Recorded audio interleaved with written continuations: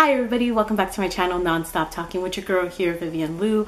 I got this hat from my friend Saudith and I haven't worn it out yet, um, but I thought, okay, let's wear it for this video then. Uh, so it's kind of shadowing half my face. I don't really know how that will look, uh, but let's roll with it. Today I will be discussing my most disappointing books of 2022. I want to make clear that I don't dislike any of these books. Um, mainly they're like three out of five, like middle of the road reads. It was just that they were lacking in some small way um, that left me not fully satisfied. I have 10 titles on the list and I will be going down the list alphabetically. First on the disappointing list is A Court of Silver Flames, which is the fourth book in the ACOTAR series by Sarah J. Maas. I was super excited about this book originally. There was like a teaser in the third book that got me so hyped. Uh, Cassian and Nesta, like I was so ready for them. I was already in love with them. However, when my pre-order of A Court of Silver Flames arrived, I was like really intimidated by the size. It is huge. It's bigger than a brick. Like I was just like and um, also I was one of those people who detested the cover change absolutely detested it. I was like what is this ugly thing that they switched it to? Um, so I was unhappy with the cover. I was um, afraid of the size. So I did not pick it up when it came out in 2021 in 2022 i decided to put my big girl pants on and was like you know what? Let's listen to the audiobook. Um and i found it so long. Like it was just so brutally long. Like why was it that long? And um i just didn't really like the way cassian and nesta started that i was just like man, I'm disappointed now. Regardless, I still consider myself Sarah J. Maas trash, um, and I will continue uh, to read her books when I get to them. Second on the list is Asking for It by Louise O'Neill. I know I am in the minority about this book. Like, I just feel like it didn't live up to all the hype. Like, everyone kept talking about it and like loving it. And I was just like why don't I love it? And I was waiting for that moment uh, where like the plot would just really grip me and would just have me in a chokehold emotionally. And that never happened for me. It never came. And I was like disappointed over that. Plus I don't think I was fond of the writing style and that's why like I couldn't really get as emotionally invested as I really wanted to be Third, we have Beyond the Wand, The Magic and Mayhem of Growing Up a Wizard by Tom Felton. Harry Potter will always have a special place in my heart. I grew up with it. With that being said, back in the day, I was a Hermione strip, stripper, shipper. Regardless, if you like Tom Felton and you particularly liked his years as playing Draco Malfoy, then this is for you. Um, this was made for you.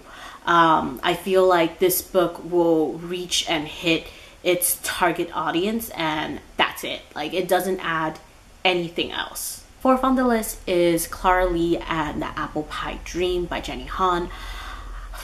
I feel like at this point, we're all kind of waiting and hoping that Jenny Han will write something new um not that we're not enjoying the shows. We all are very much enjoying the shows. I'm looking forward to the second season of the summer i turned pretty and i'm very much looking forward to um kitty's spinoff. But yeah like while i'm waiting for the shows and while i'm waiting for jenny han to one day write something new um or publish something new i was like you know what? Let's go over her backlist which is like mainly her middle grade stuff. And this didn't suck. It was like decent, but I think I wanted like more than decent. Like in short, it's about um, a Korean American girl who enters her school's um, like I guess beauty pageant. Fifth on the list is Family of Liars, which is the prequel to We Were Liars by E. Lockhart. I previously uh, read We Were Liars and I really enjoyed it. I think it's probably on my most surprising list the year of the year that I read it, I believe. I'm pretty sure. Um, so I was kind of iffy about this prequel. Um, and honestly, I was rightly so, like feeling a little like sus about starting this. Um, I think like her writing is still there.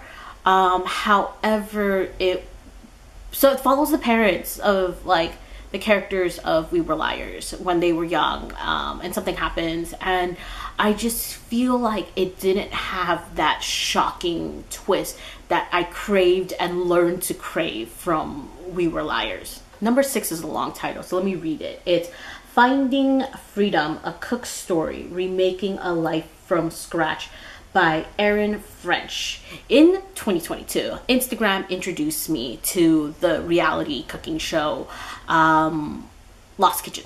And I loved it. The small time vibes are immaculate. The cooking is amazing. The story of like starting again, starting anew, and like surviving and thriving. Like it's great. Um, it's like a homely show to just like ch- watch and chill. And um, if you have HBO Max, like me, then give it a try. Um, so yeah, once I learned about this chef, I was like, I really like her. Let me go pick up her book. So like while waiting for the third season of the show to come out, um, I picked up the audiobook and um, I feel like the or like Erin French has an amazing story about like perseverance, family, love, and it's gonna be very like touching and motivational um, to some.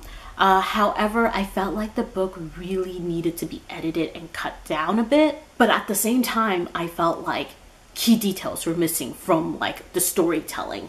Um, so while I don't recommend um, the book, but feel free to give it a try if it's your thing. Um, I do want to say that if you like small town, homely vibes, and you love cooking shows, feel free to give The Lost Kitchen on HBO Max a try. Number seven, I think, is going to shock a few people, but it's Finlay Donovan is killing it. This is the first book in maybe a trilogy, probably, um, I guess a series. Um, and the author is Elle Cosimano. Am I saying that correctly? Uh, but yes, so Finlay Donovan is like a super duper hyped book. I feel like a lot of people are talking about it, and that's how I heard about it from multiple people talking about it on like BookTube. And um, it was just too campy for me just way too campy for me. However, like the way that it ends, I am so intrigued. Like I want to know what happens. So there's like a part of me that's like I need to be updated. I need to know what happens to Finlay Donovan. But at the same time, like, but you didn't like the writing style. You're gonna go through the same thing if you pick up the second book. Um, so I'm like at a rock and a hard place right now because I want to know, but do I want to read? Um in like the sense of like do i want to continue? So i probably will. Uh but yeah like the first book it just it didn't vibe with me but at the same time like props it for getting me invested.